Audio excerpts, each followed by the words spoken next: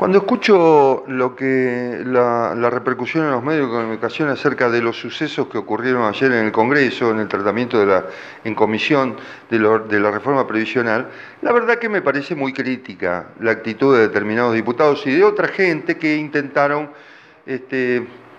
a través de métodos de, insultos y de, y de intento de la fuerza, detener lo que es la postura oficial respecto de la reforma previsional. A mí no me desgarra las vestiduras la discusión, sinceramente. Yo he visto en todos los parlamentos del mundo, por más que hablen de otros países, eh, discusiones y encima ayer no hubo pelea, pero de todas maneras no quiero parecer en, el comentario como que estoy justificando ninguna violencia. Ahora, ¿de qué violencia hablamos? De la violencia donde hay, por supuesto que sectores interesados en torcer la voluntad del gobierno, terzo de, los propios diputados que hacen eh, eh, que este, le hacen caso al gobierno y llevan adelante una reforma previsional que está siendo criticada por propios y extraños. Una cosa es que lo diga, eh, por supuesto que además no solo lo dice Daniel Arroyo, que es un especialista y que es del Frente Renovador, también lo dice Daniel Sapsay, un abogado constitucionalista que no se le puede decir que sea kirchnerista. Y también lo dicen un montón de abogados que hablan de que la reforma previsional que le baja el sueldo a los jubilados a partir de marzo,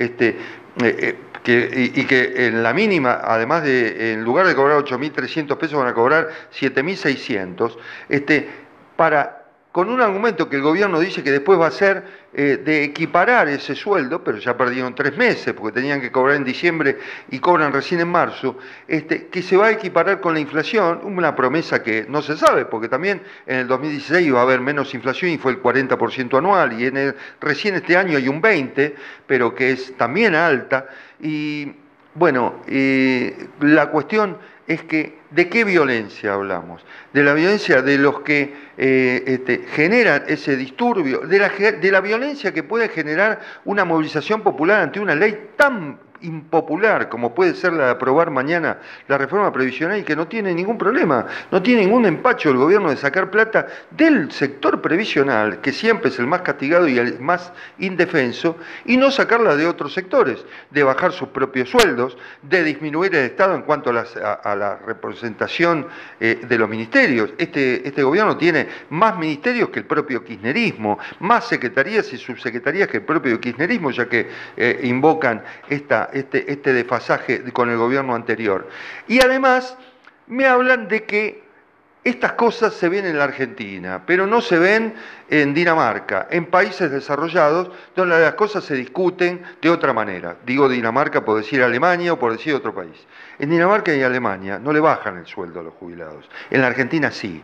hay medidas que se están tomando que son no solamente antipopulares, sino anticonstitucionales y que representan una falta de sensibilidad total. Me parece que el enfoque del gobierno debería ser la de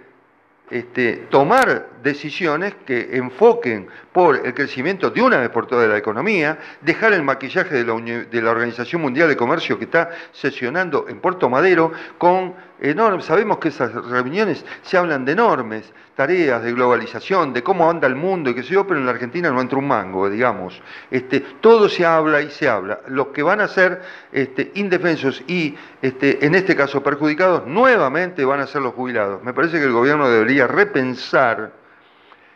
que estas decisiones deben ser enfocadas de otra manera y estos gastos tienen que ser enfocados con otra dirección y no con los jubilados para